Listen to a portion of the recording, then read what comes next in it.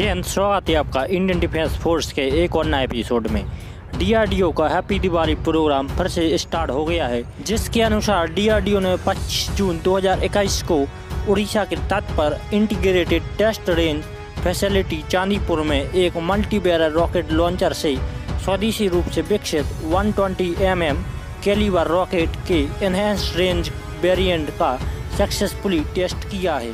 यह rocket army की application के लिए डेवलप किए गए हैं, जो 40 किलोमीटर तक लक्ष्य को नष्ट कर सकते हैं। इंटीग्रेटेड टेस्ट रेंज और प्रूफ एंड एक्सपेरिमेंटल एस्टेब्लिशमेंट द्वारा तैनात टेलीमेट्रिक रेडार और इलेक्ट्रो ऑप्टिकल ट्रैकिंग सिस्टम सहित रेंज इंस्ट्रूमेंट द्वारा सभी फ़्लाइट आर्टिकल्स को ट्रैक किया गया है। इस रॉकेट सिस्टम को पुणे स्थित armament research and development establishment ए और high energy materials research laboratory द्वारा संयुक्त रूप से Nagpur based economics explosive limited के मैन्युफैक्चरिंग सपोर्ट के साथ डेवलप किया है।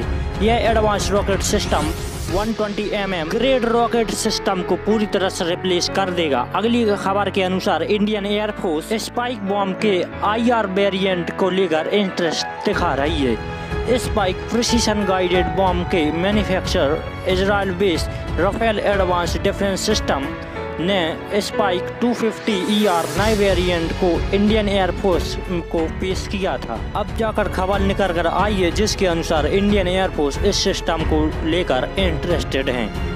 और उन्होंने राफेल सिस्टम से अधिक जानकारी मांगी है, जिसमें निकट भविष्य में कम से कम स्पाइक 250 ईआर का डेमोस्ट्रेशन भी शामिल है। राफेल एडवांस मौजूदा फाइटर फ्लीट के लिए स्पाइक 250 ईआर को पिच कर रहा है, जिसमें टू 2000 सू थर्टी एम के आई और एल सी ए तेजस शामिल है। स्पाइक 250 आर जिसमें एक इंटरनल फ्यूल सिस्टम के साथ एक मिनिएचराइज टर्बोजेट इंजन लगा है जो वेपन को कम से कम 150 किलोमीटर की रेंज प्रदान करता है। स्पाइक 250 ईआर अब autonomous electro optical scene matching artificial intelligent algorithm के साथ आता है, जो स्ट्राइक से पहले विशिष्ट लक्ष्य विशेषताओं के लिए एडवांस आर्टिफिशियल इंटेलिजेंट और डीप लर्निंग तकनीकों का उपयोग करता है। इसी बात पर वीडियो को ख़त्म करते हैं।